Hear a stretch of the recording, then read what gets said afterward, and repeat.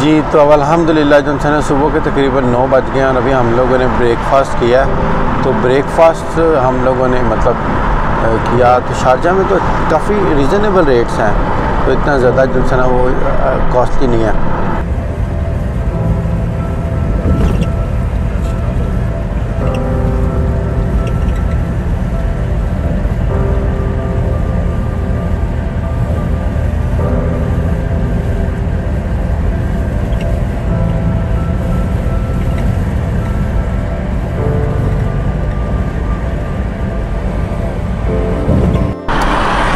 जी तो अब इस वक्त मैं शारजा में आ गया हूँ और ये है शारजा कॉर्निश।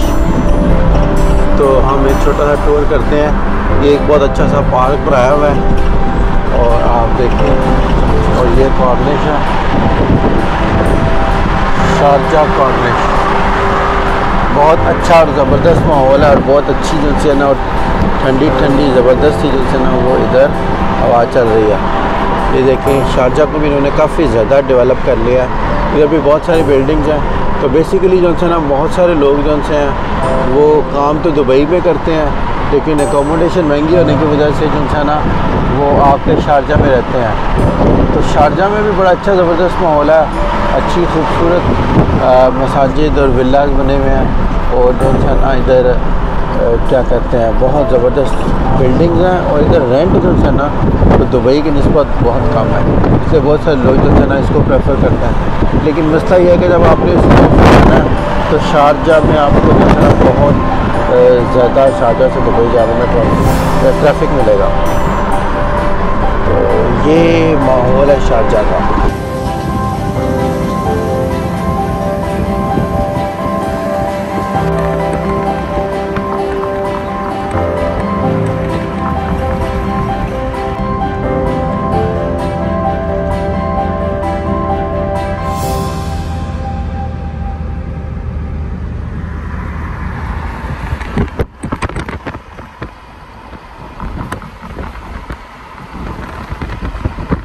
Beautiful Sharjah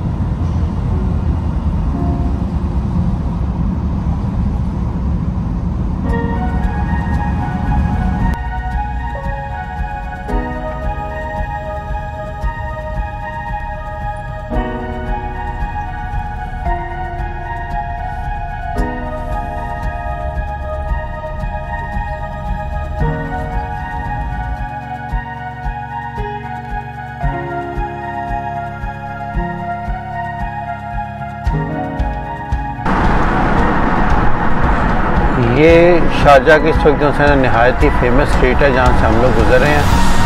और, शारजा से इस वक्त हम लोग दुबई जा रहे हैं। और मैं आपको दिखा रहा हूँ कि शारजा में कितना माहौल कैसा है और कितनी ज़बरदस्त ज़बरदस्त जो है ना वो बिल्डिंग इन्होंने बना ली हैं। लेकिन अगर मैं मतलब शारजा को कंपेयर करूँ दुबई से तो थोड़ा ट्रैफ़िक है इस वक्त, लेकिन जो है ना वो कंपेरेटिवली काफ़ी कूल मतलब है।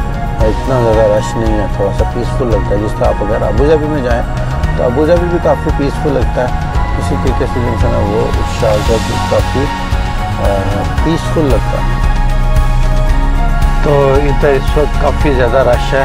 तो नॉर्मली जो है ना रश की सिचुएशन ऐसी ही रहती है कि ट्रैफ़िक जो है ना इधर काफ़ी स्लो स्लो चलती है।